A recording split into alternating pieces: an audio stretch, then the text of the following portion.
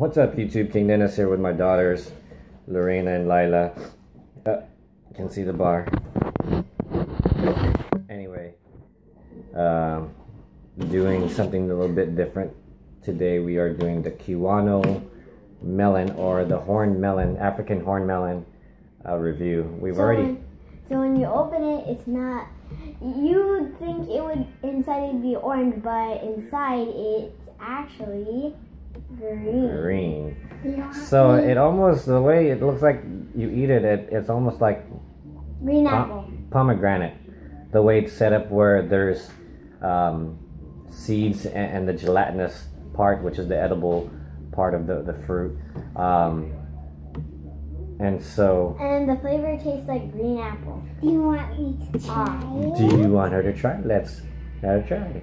Oh, that'd be eight spicy pepper with that one. Okay.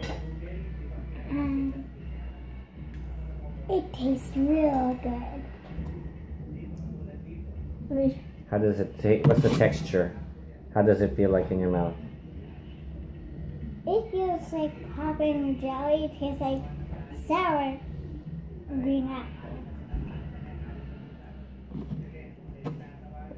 Like what you said, it tastes like green apple. You could to me, it tastes like you know those grass jellies when you go to those boba places. Inside the jelly Very is the seed. Mm. Seed, and we're gonna save those seeds and plant some more. So I'm gonna try it again. It tastes. It's either you could um eat the seeds or you spit them out.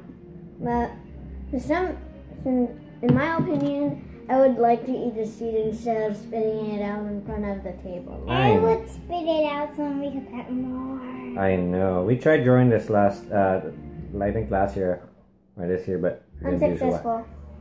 Hmm.